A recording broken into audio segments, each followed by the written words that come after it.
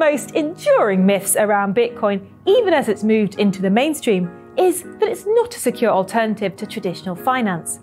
The reality is that it's actually even safer. Let's break this down as simply as possible. Since it was launched in 2009, there have been a number of high profile Bitcoin related scams, hacks, and thefts. This, and a huge dollop of FUD from Bitcoin's detractors, has probably contributed to the impression that Bitcoin isn't safe. In reality, the number is insignificant when compared with the amount of scams and thefts of fiat currency. But that's really beside the point. Bitcoin itself has never been hacked. Bitcoins themselves cannot be duplicated, and they're very difficult to steal if the proper security measures are in place. This is all to do with the technology that underpins Bitcoin, which is called the blockchain. The Bitcoin blockchain is a decentralized, open source, immutable ledger that's constantly maintained by its community. How are you guys planning on beating that? Together. Think of the blockchain like a spreadsheet that keeps track of all Bitcoin transactions. This spreadsheet is visible to everyone.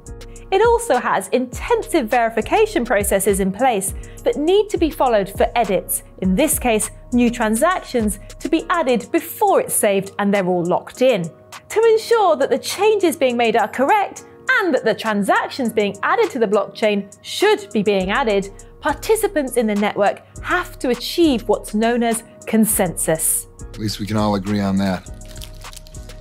Consensus basically means you need more than 51% of people to agree that the edit is correct.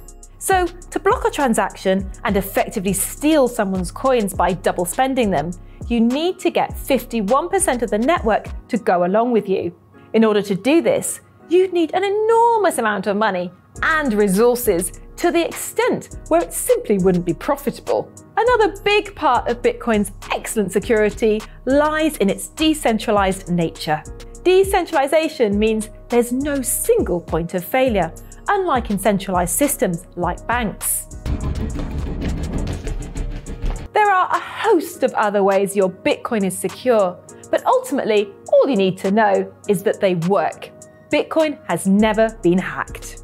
Never! To say that you can't be hacked, though. When it comes to the safety of your Bitcoin, that really depends on the security measures you and your custodial wallet provider have in place. At Luno, we have implemented industry leading processes to ensure our customers' Bitcoin is completely secure. One aspect of this is ensuring that the majority of our customers' Bitcoin funds are kept in what we call deep freeze storage. It's freezing in here, Mr. Bigglesworth. These are multi signature wallets with private keys stored in different bank vaults that no single person has sole access to. You can check it all out on our website and YouTube channel to find out more about what we do to keep your Bitcoin safe and what you can do too. So, guys, the next time someone hits you with some FUD, you've got the ammo to fight back. Got any FUD you'd like us to bust? Drop us a comment below. Don't forget, like, share, subscribe, and as always, hashtag to the moon.